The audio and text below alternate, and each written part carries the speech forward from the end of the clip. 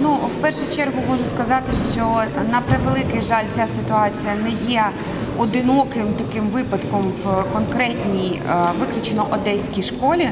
На превеликий жаль, я про це написала навіть у своїй на своїй е, сторінці в соціальних мережах. Відсоток е, вчителів, які страждають від професійного вигорання. Ми маємо саме такий е, приклад. Він дуже надвисокий. Е, Середній вік е, педагогів перевищує 45 років. І середній стаж і категорії, якими ми всі пишаємось, на превеликий жаль, не додають здоров'я людям, які викладають у закладах освіти. Ми маємо визнати, що класи в школах великих міст, у тому числі в Одесі, значно перевантажені. Тому вчителька, е, поведінку якої ніяким чином не можна виправдати всім тим, що я назвала, бо дійсно діти не мають страждати від всіх наших дорослих проблем. Е, Вона має понести відповідальність за свою поведінку, і крик також є е, насильством. Якщо не фізичним, то ми маємо справу з психологічним насильством. Вчителька написала заяву про звільнення. Наскільки мені відомо, е, батьки цього класу звернулися до директорки з проханням не звільняти за згодою сторін. Директорка наразі е, вирішує саме це питання, чи погодитись, чи не погодитись.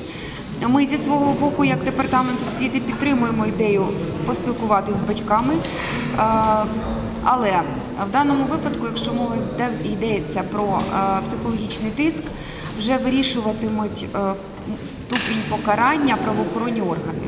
Бо, на жаль, е, в даному випадку, все ж таки, на нашу думку, є місце психологічному насильству.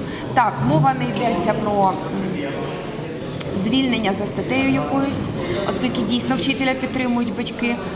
Але як е, управлінці, як освітяни, як вчителі, ми категорично не підтримуємо такий стиль спілкування. Вчителі мають знати, що за нього е, наступає певна відповідальність. Е, Наразі звернувся, звернулись ми до управління ювенальної превенції, буде визначено ступінь впливу на дітей. Попрацюють в класі практичні психологи з дозволу батьків. Я підкреслюю, батьки мають надати на це свій дозвіл або його не надати. Тоді будуть працювати тільки з тими дітьми, батьки, яких на це е, погоджуються. Е, Ми сьогодні в місті спеціально навіть для цього створюємо освітній хаб, щоб наші вчителі мали місце, де вони можуть пройти певний курс психологічної реабілітації. Так, в кожній школі є практичний психолог, але нормативи е, його праці це одна ставка на тисячу з лишнім дітей. І звичайно, що до вчителів в них просто не доходять руки. Вони працюють з дітьми. І е, Отаки, отака ситуація, коли дітей багато, вчителі виснажені, е, їх не вистачає, вони працюють в дві зміни, діти від цього страждають. Вона не буде поодинокою, тому ем, наразі ми маємо провести в усіх закладах освіти е, тренінги з психологічного розвантаження для наших педагогів, і ми це проведемо. Наша головна задача сьогодні їх не стільки реабілітувати, ми не зможемо це зробити для всіх, але навчити е, методам такої само відтворювання, самолікування, можливості дійсно відновитись після таких виснажливих робочих днів. На мою думку, є провина і заступника директора, який відповідає за початкову школу, оскільки ми розуміємо, що ця ситуація не була першою і не була поодинокою. Що стосується самого розміщення в соціальних мережах, я що хочу сказати. Звичайно, це добре, коли ми дізнаємось про ситуацію і байдуже з яких джерел. Якщо навіть вона резонансна чи вона не резонансна, для нас це у будь-якому випадку дії наші від цього ніяк не змінюються. Але хочу звернутися до батьків, які відвідують школи, які бачать таку ситуацію. Особисто я не розумію, як можна знімати таке і просто пройти мимо. Мені здається, що будь-яка доросла людина мала б зайти і припинити таке знущання над е, моральне знущання над дітьми. Це звернення прохання, можна його оцінити саме так.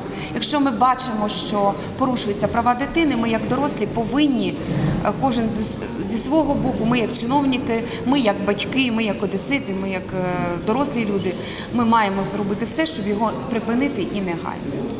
Ви сказали, що батьки просять не звільняти за Згодою сторін. Згодою сторін. Не звільняти взагалі чи не звільняти саме за цією причиною? Ну, вчитель написала заяву про звільнення за згодою сторін. Для того, щоб звільнитись за власним бажанням, має пройти 14 днів, і вона не у рабстві, вона має право. Е, В школі проводиться службове розслідування. Можливо, якщо буде виявлено за допомогою психологів, що таке така поведінка є регулярною, і діти від цього постраждали, то будуть підстави для звільнення за певною статтею. Я правильно розумію, що була лише одна скарга на вчителя? Е, Ми взагалі скарги не бачили. Ми бачили просто розміщену інформацію. Скарги як такової написаної не було. Е, Я не бачила ніяких письмових звернень і усних також, але ми бачимо факт, на який ми сьогодні маємо Будьте відреагувати. добры, я сейчас пытался узнать, э, то есть речь идет о том, если я правильно понимаю, что педагог просто, э, скажем так, э, кричал с детьми на повышенной интонации, просто кричал. Педагог кричала. И достаточно, э, и кричала, насколько понятно из э, текста, на одного конкретного ребенка. Нельзя делать. Э, Нет, этого нельзя делать. Такие методы недопустимы а в школе. с детьми? Вот теперь у меня вопрос к вам, человеку, имеющему педагогическое образование. Что делать с детьми, которые обычного языка не понимают?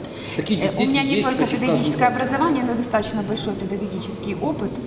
И э, действительно есть дети, которые способны определенным своим поведением довести любого абсолютно человека, даже уравновешенного, до нервного срыва. Для того, чтобы такие вещи не накапливались и не выплескивались вот в такую ситуацию, родители этих детей, которые несут полную ответственность за своего ребенка, за его воспитание, должны были уже неоднократно быть э, частыми гостями ювенальной превенции.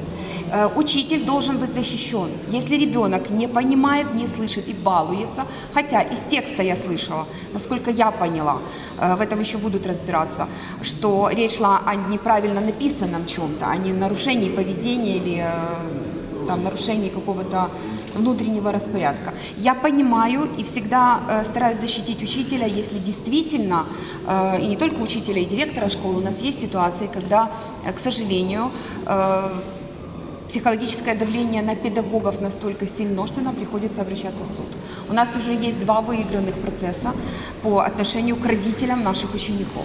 И э, если в данном случае мы слышим действительно крик, который влияет не только на одного ребенка, на которого кричат, но и на абсолютно всех детей данного класса, мы вынуждены признать, что подобные методы во втором классе, когда мы имеем дело с 7-летними детьми, они недопустимы. Я сегодня могу э, объяснить для себя такое пов- поведение и реакцию, но, к сожалению, оправдать его у нас э, есть определенный профессиональный кодекс. Мы должны ему соответствовать. Это второй класс 84 школы, да? Да. Тобто це просто вчителька, яка ну власник. Вона веде уроки в цьому класі. Так.